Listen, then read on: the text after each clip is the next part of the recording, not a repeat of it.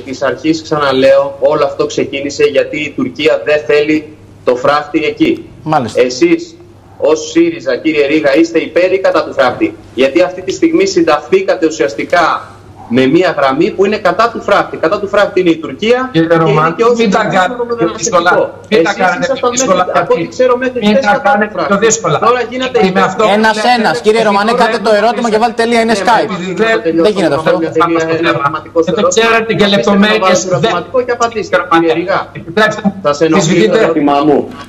Μου επιτρέπετε να το τελειώσω. Σα λέω λοιπόν, ακούστε λοιπόν. Μα δεν, μα δεν το τελείωσα. Θέλω να, Να το τελειώσω τελειώσω. με κάτι άλλο. Επιτρέψτε μου να τελειώσω το ερώτημα. Λέω λοιπόν, μέχρι προχθές και πολύ περισσότερο θυμάμαι και στην προηγούμενη κρίση στον Εύρο, ε, ήσασταν με μια άλλη γραμμή. Θυμάμαι δε ότι στην προηγούμενη κρίση ξανά υιοθετούσατε fake news της Τουρκίας. Τώρα λοιπόν έρχεστε και λέτε Ψεύδεστε. και γίνεστε Ψεύδεστε για άλλα βασιλικός πράγματα. βασιλέος Τα προηγούμενα υπέρ ψεύδεστε. του Ωραία. πράγματος. Άρα, άρα, Λοιπόν, κύριε ακούστε, Ρίγα, λοιπόν, λέει ο κύριος όχι, Ρωμανός δεν μπορεί να μην ότι απαντήσω. εσείς δεν θέλετε το Ερώτησε φράχτη κάτι. από ό,τι Λοιπόν, καταλαβαίνω. Επιβεβαίωσε πολύ απλά ότι έγινε το γεγονός. Αυτό με ρώτησε τώρα. Αν είμαι με το φράκτη.